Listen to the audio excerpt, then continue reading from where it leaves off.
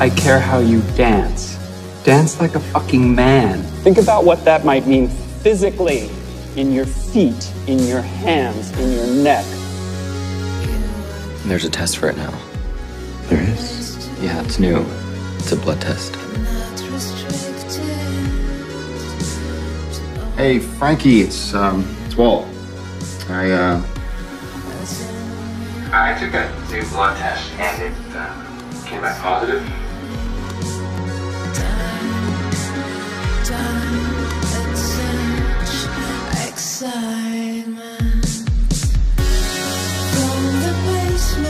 How long for the results? Two weeks. I want to do it.